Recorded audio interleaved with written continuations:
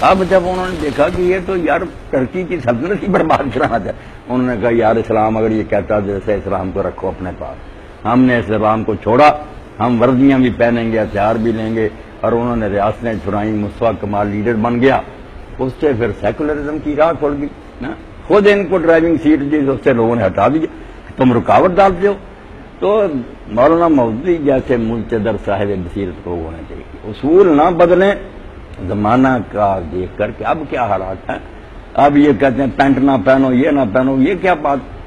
مولانا اسلامی لباس کے بارے میں تین چار باتیں ان کا خیال رکھو، پھر چینیوں کا لباس بھی اسلامی ہے، جاپانیوں کا بھی، امریکیوں کا بھی، اسلام کسی خاص علاقے کے لباس کو ساری دنیا پر نہیں لاگو کرتا کہ مرد ریشمی لباس نہ پہنے، عورت اور مرد کا لباس الگ الگ ہونا چاہیے، زنانہ پن نہیں ہونا چاہیے۔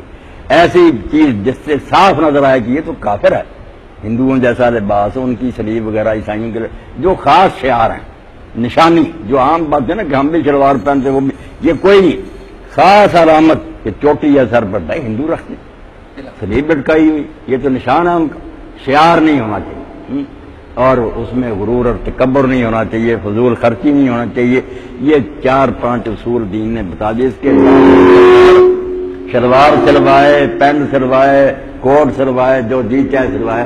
اسلام کو اس میں کوئی اعتراض مگر یہ نہیں بات آتے لوگوں کہتے تنگ کریں گے، پچھلے زمانے کی طرف جانے کی کسی کی پسند اور وہ کرتا پہننا چاہتا ہے دوسرا چاہتا نہیں بشرٹ پہنے۔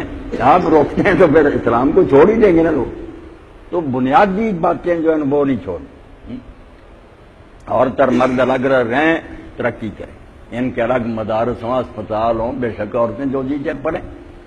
ہم اسلامی تاریخ میں ایسی عورتوں کے حالات پڑھتے ہیں جو محدثہ تھیں۔ بڑے بڑے عالم جو ہیں، شاگرد ہیں ان کے، ان کی سندوں میں عورتوں کا ذکر آتا۔ جن سے انہوں نے پردے میں بیٹھتی تھی۔ باقاعدہ حدیث کی کتابیں پڑھی، ابن حضر رحمۃ اللہ جیسے۔ تو کوئی اعتراض نہیں۔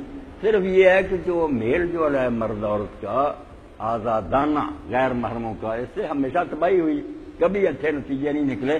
اس کا لحاظ رکھا جائے، کہ ان کو الگ الگ رکھا جائے۔